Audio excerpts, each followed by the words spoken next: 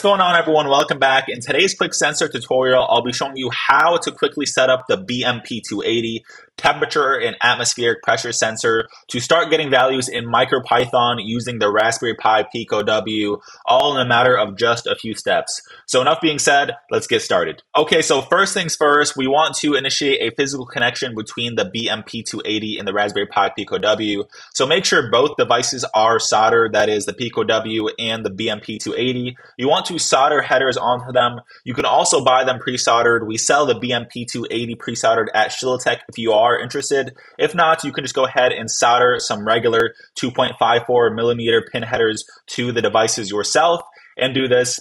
So be sure to also have a set of jumper wires. Also, even better, you can connect these devices to a breadboard to remain organized and do the connection there yourself. And so once you have those four connections, be sure as well not to mix up the VCC and the ground connection on the device because that can lead to issues in circuitry. And other than that, make sure that you have the SCL and SDA pins configured correctly or you'll have issues in I2C communication. And once we have that, let's jump into the code setup and see what we have to do there in MicroPython. Okay, so now now that we have our physical connection, we can just go ahead and open our MicroPython editor. Today I'll be using Thonny, which is probably the most popular editor for editing MicroPython code on the Raspberry Pi Pico W.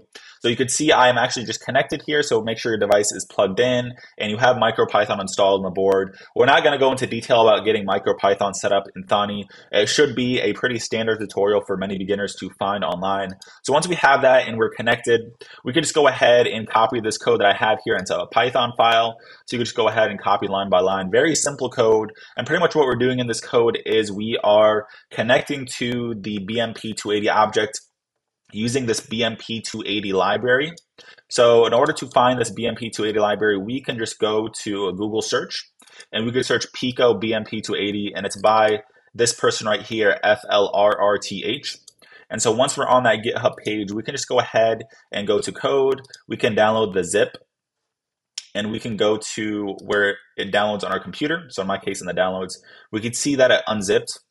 And now that we have it unzipped, we can just go back to Thonny and we can just go to where it was unzipped to. So we can just go to downloads here on the left.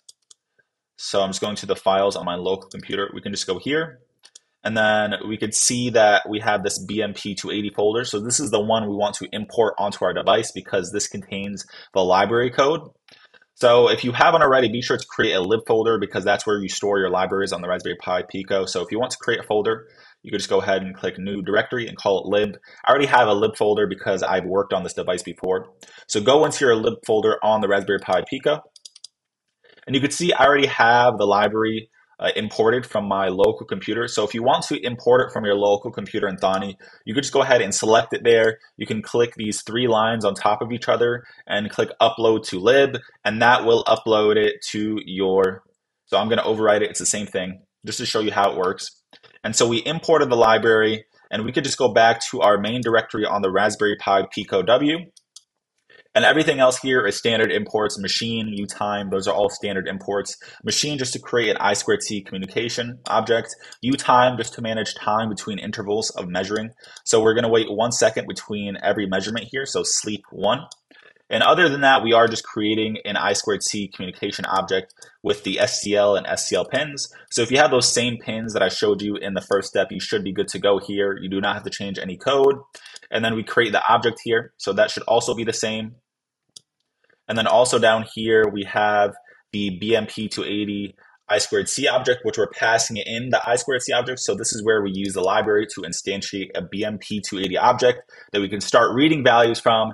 And finally, we just read values forever as long as this code is running by using a while loop.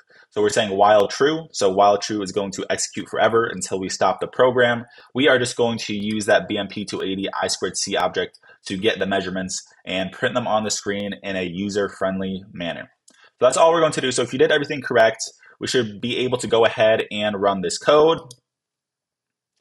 And there we go. And just to make sure your device is working, what you could do is you can actually uh, breathe onto the BMP280 to make sure it's measuring temperature correctly. So we could just go ahead and breathe on it for a sec.